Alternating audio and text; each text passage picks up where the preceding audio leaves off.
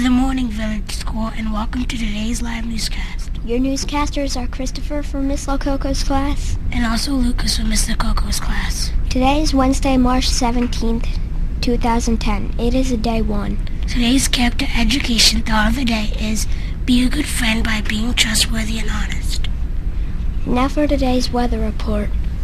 Today is expected to be sunny and beautiful. The current temperature is 33 degrees Fahrenheit. The high is expected to be 65 degrees Fahrenheit.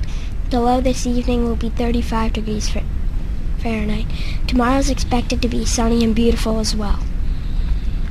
There will be outdoor recess today. Stay away from any muddy areas.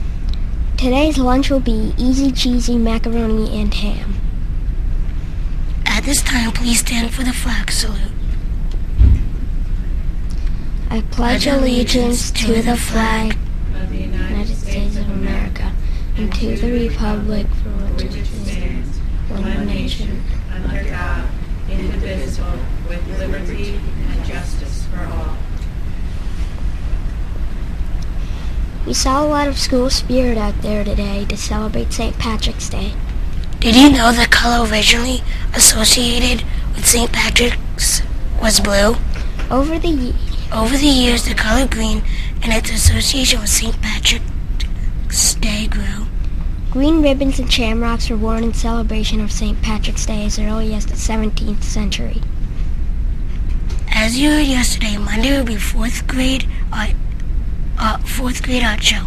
Let's take a look at some wonderful pieces of art. First, we have Michael from Mrs. Vanetta's class.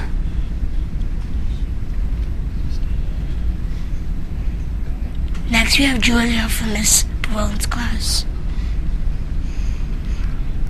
Great artwork. You will also be able to see hundreds of other great pieces on Monday. Now, a word from Miss Lacey and Mr. Hattinger. Good morning, villagers. Mr. Hattinger and I are proud to introduce yet another student has, who has come up with a creative way to raise money for Haiti. Luciano from Miss Steele's class has been making and selling origami to raise money for victims in Haiti. And so far, he's raised $55. And that brings our school total to more than $1,980. So Luciano's going to get a certificate of appreciation, and maybe you could talk to him about buying some origami. Good job, Luciano. Congratulations. Congratulations. Thank you.